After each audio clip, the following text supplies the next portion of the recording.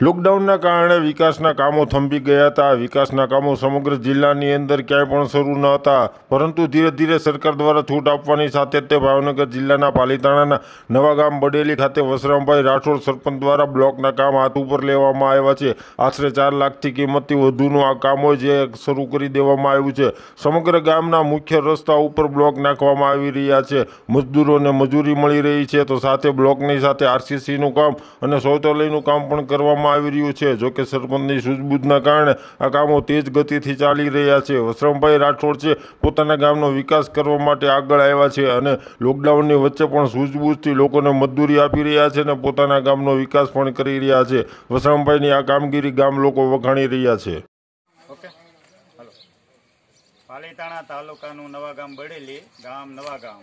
જે સરપંચ હું, વિશ્રામભાઈ ગીગાભાઈ રાઠોડ જેવો આ પ્લોટ વિસ્તારના બ્લોક મારે જે પાસ થયા છે, ચાર લાખ ત્રીસ હજારના, એ હું અત્યારે હાલમાં મારું કામ શરૂ છે અને બીજું એક દલિત વિસ્તારમાં એક લાખ રૂપિયાના બ્લોક છે એ કામ શરૂ છે અને બીજું દલિત વિસ્તારમાં આરસીસી કામ છે એ મારે દોઢ લાખનું એ શરૂ છે.